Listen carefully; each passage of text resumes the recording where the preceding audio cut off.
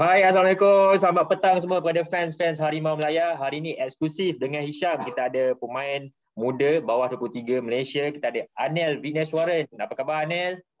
Ya betul. Khabar baik. Abang khabar khabar okey?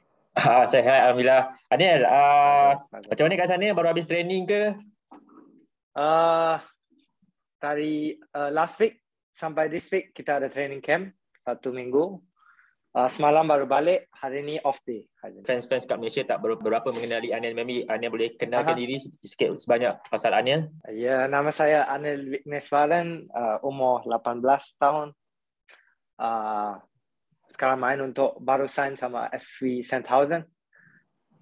Untuk uh, training sama bawah 19 sama all uh, dengan uh, first team.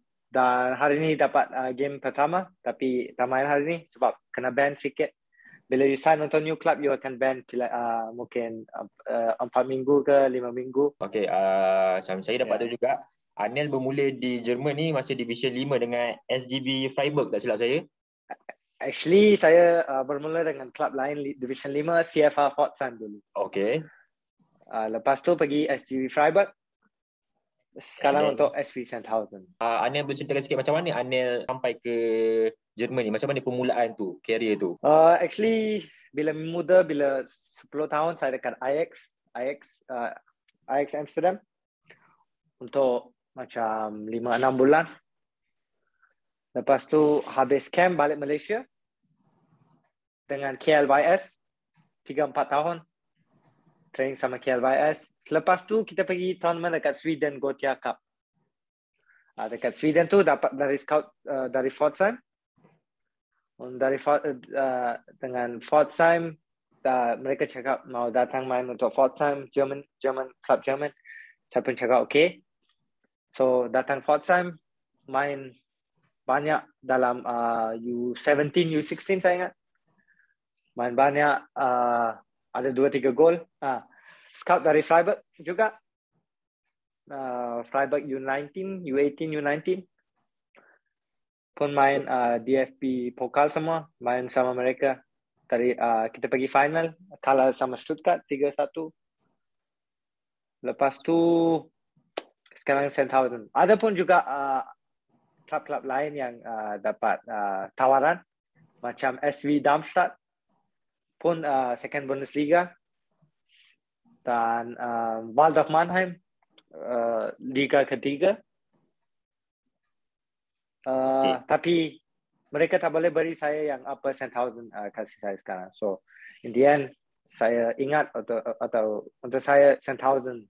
Anil cakap tadi yang bermula dekat Ajax kan? Ya, betul. Uh, macam mana Anil pergi ke sana tu? Start, start tahun bila tu? So saya pergi untuk camp. Bapa saya hantar saya untuk camp dekat Ajax Amsterdam. Lepas camp tu mereka cakap uh, boleh uh, you can stay with us another six month, contract six month. Tapi dalam 6 month tu, dalam 12 tahun, hard sikit lah. Itu time umur 12 uh, tahun lah? Umur 12, uh, uh, 12, 11, betul. Oh, 12, 11 tahun 2000? 2000, 2013 2014 Oh kat, dekat situ lah Anin start career daripada situ lah bermula bermula bermula itulah secara serius Anin memain bola lah time Aha. umur 10 yeah. 11 tahun betul Okay, siapa yang mendorong uh, Anil tu? Uh, ayah ke yang hantar ke sana macam mana boleh ke sana? Dari Ajax tu bapa saya hantar ke camp, betul tu. Okay. Lepas camp tu mereka cakap you boleh stay with us lagi enam bulan. Lepas tu saya balik Malaysia, tiga empat tahun. Lepas tu dari Malaysia club tu yang beraksi dekat Gotia Cup, ada tawaran dari club uh, CFA Pforzheim Jerman tu. Okay, kalau di Malaysia tu Anil ada club ke bermula macam mana tu kalau di dekat Malaysia? Malaysia saya bermula dengan Little League dulu dari tujuh tujuh enam tahun. Lepas tu ke Ajax balik Malaysia saya dekat uh, KLYS Kuala Lumpur Soccer tu tiga empat tahun. Lepas tu bermula dekat Jerman lah. Anil pun dapat wakil juga masa under 23 dekat Mongolia tu. Ah ya betul. Okay, uh, and then ada satu kalau Anil ingat masa tu ada satu isu viral mengenai Anil juga maybe Anil boleh komen sikit. Ya okay. ramai rata-rata fans tak mengenali Anil tapi Anil terpilih untuk mewakili Malaysia mm-hmm. under 23. So yeah, ada yeah. orang kata juga Anil uh, bagi trial di klub-klub di Malaysia pun tak dapat dan suddenly boleh main Malaysia. Aniel boleh kongsikan apa pencerahan sikit pada Aniel sendiri. Uh, yang tu saya akan cakap kritik kalau you bagus ke tak bagus ke kritik akan datang. So saya dengan uh, coaches Malaysia tu mereka always uh, in touch. Tengok game saya tengok uh, prestasi saya uh, macam mana saya main mana saya main uh, berapa minit saya main berapa gol saya score berapa macam mana saya main tu. So bila orang cakap macam tak ada minit tu saya tak tahu lah macam mana dari mana mereka dapat uh, info tu. Tapi yeah, uh, saya ingat Coach Brad made the right decision saya tak main uh, tiga game tu. Sebab saya ingat uh, tiga pertahanan kita tu memang betul memang memang good. So dia buat decision yang betul dengan kita qualify. So saya ingat tak ada tak ada apa-apa masalah Okey kan uh, Anis ni tahu uh, bawah 23 layak ke AFC under 23 di ya, Uzbekistan nanti bulan 6. Betul. Perancangan coach Brad Melody sendiri ada bagi tahu Anel maybe akan terpilih ke atau kekal konsisten di Jerman baru akan terpilih ke skuad bawah 23 nanti. Betul. Uh, 100% kena konsisten. Bukan saya uh, safe place dekat uh, utility itu memang tak. Ada banyak-banyak play bagus, ada banyak talent bukannya uh, luar negara pun dalam negara dalam Selangor, dalam um, JDT, banyak-banyak player kita ada. So, of course saya kena prove. Sekarang saya send sama klub besar di Jerman, Sandhausen, uh, second Bundesliga, training juga sama first team. Kena konsisten juga. Kena prove myself. Uh, dan hopefully saya dapat um, collab juga lah dalam AFC tu. Anil beritahu sini kena kekal konsisten, uh, kena kekal konsisten sebab kita tahu juga kalau, uh-huh. Anil, kalau Anil faham Nanti bulan 6 nanti uh-huh. ada dua kejohanan yang besar. Senior pun ada kelayakan Piala Asia. Betul. Tarikh nak dekat sama dengan ada 23 pun ada Piala AFC baru 23. So kalau Betul. Anel dapat call up, kita pun tahu uh, jurulatih senior pun jurulatih yang baru sekarang ni. Kalau Anel dapat call up kedua-dua sekali, mana Anel prefer nak untuk beraksi dulu? Junior atau senior? Kalau senior pun okay. Of course, senior is is a big thing. Tapi saya saya uh, sokong uh, coach-coach U23 tu mereka buat banyak kerja. Try pun best mereka coaching pun best mereka. So saya akan cakap untuk bawah 23 dulu lah. Saya baru 18 uh, ada juga masa untuk develop kena learn juga banyak so saya ingat bawah 23 Anel pergi ke Mongolia tu ada memang ada isu kan? Orang kata alah ya, ya betul. Uh, macam Anel ni pergi trial ke AMD lah tak dapat. Pergi tu tak tak dapat. MSN lah apa apa macam-macam tak dapat. So uh-huh. macam mana Anel melawan kritikan tu supaya tak rasa lemah semangat masa wakil bawah 23 of course first time saya dapat call up kan. Memang uh, saya pun rasa oh bagus. Tapi dalam kritik tu ada pun aku rasa uh, eh mereka cakap pun tapi trainer pun cakap stay positive. Kita believe in you. When we need you you need to be there you need to be 100% so yeah saya stay positive je kalau tengok macam Ronaldo pun kena kritik sebab yeah. ini kan. Saya saya pun kena kritik tapi kena stay humble stay consistent.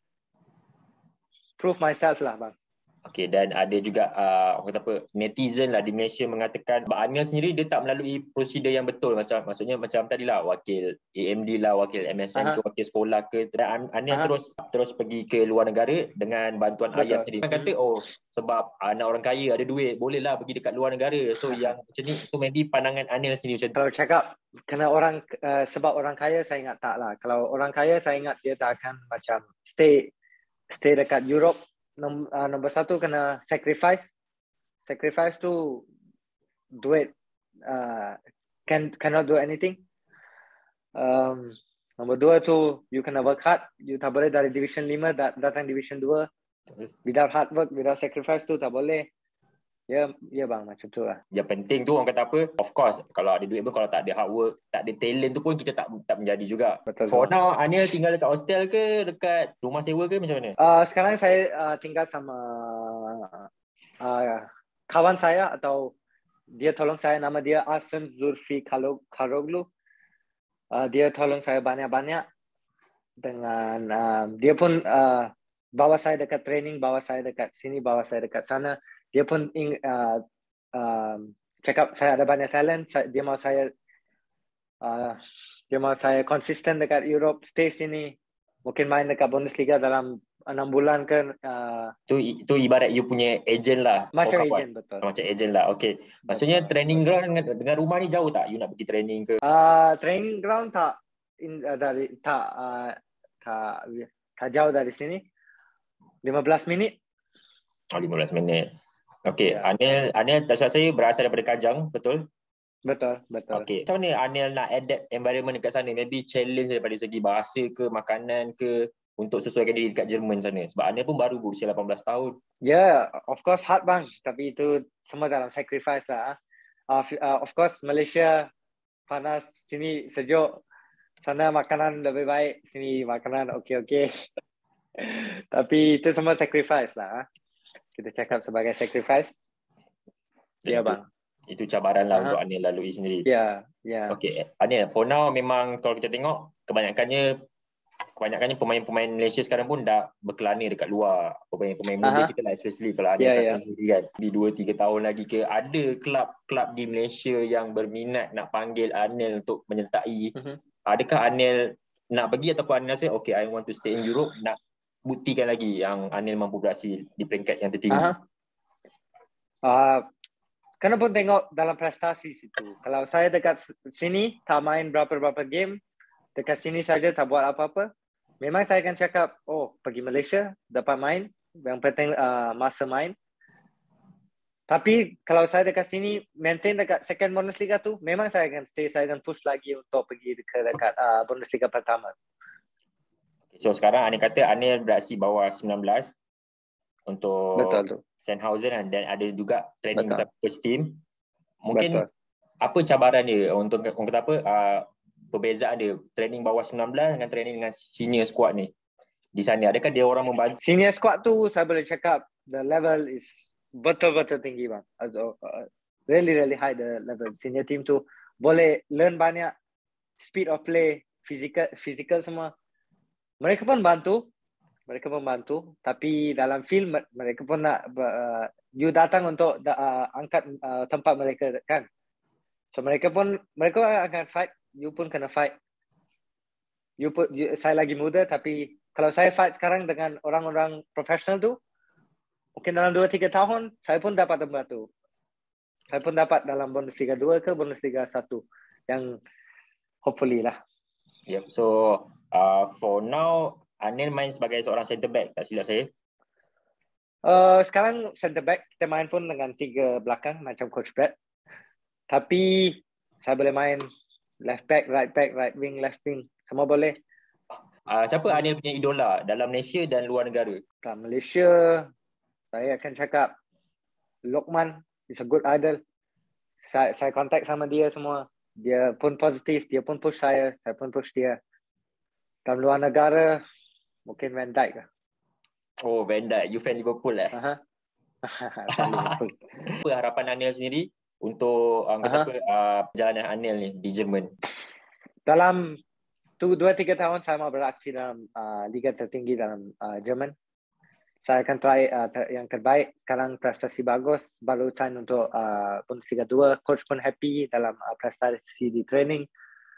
So sekarang kena konsisten kena proof macam saya division 5 ke 2 saya pun macam macam nak liga kedua ke liga pertama so itu memang akan be hard sacrifice banyak hard work memang akan dapat uh, bad times juga tak tak uh, selalu uh, time-time bagus tapi saya akan try uh, my best lah untuk uh, pergi liga tertinggi dekat uh, Bundesliga Uh, boleh, apa boleh. Anil punya saranan, uh, walaupun Anil still muda tapi saranan untuk player-player ha? yang lagi muda yang nak beraksi dekat luar. Saya mesti cakap, um, saya ingat macam TMD, TMD, TMJ uh, cakap masa hal itu, kalau pembangunan dengan itu bagus, you tak semestinya kena pergi luar negara untuk main. You can stay in the country. Kalau coach-coach bagus boleh train you macam ni, macam sana. Saya akan cakap, just work hard main dekat uh, Malaysia macam tengok Arif Aiman sekarang dari Malaysia dia sekarang top level saya ingat dia boleh main dalam K-League, J-League mungkin di, di Europe juga so yang penting kena train hard macam kena dapat di coaches yang terbaik coaches yang tahu bola macam Lim Tiong Kim, macam coach Kan Hang Meng, macam coach Brad. Kena dapat trainer-trainer tu yang tahu bola sepak. So bila mereka boleh train you, you boleh uh, learn uh, sama mereka juga. You akan uh, better player. You akan learn banyak. And then Europe akan datang. Tawaran tu mesti akan datang bila you perform good. Betul.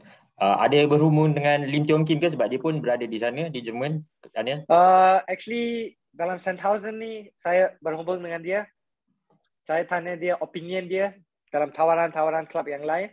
Saya tanya dia what is your opinion coach on which team should I join? Dia pun uh, cakap sama saya, Anil, I think Sandhausen is a good option. So saya pun cakap, okay coach, I think it's also a good option. Saya angkat Sandhausen option ni. Okay, alright. Anil, thank you so much for your time dengan Thank you, thank you. Uh, thank you. I wish you all the best. Sebab uh, saya thank memang you. bangga banyak anak-anak muda Malaysia yang dah main dekat luar, uh-huh. dah membawa nama Malaysia. Betul. So betul. I hope one day Anil pun dapat membanggakan nama Malaysia. Betul dapat menunjukkan yang dekat Malaysia ni ada talent-talent yang bagus macam Anil dan pemain-pemain muda yang lain. Thank you. Okay, thank Anil, you, thank you so much. Thank you. Thank you. Thank you.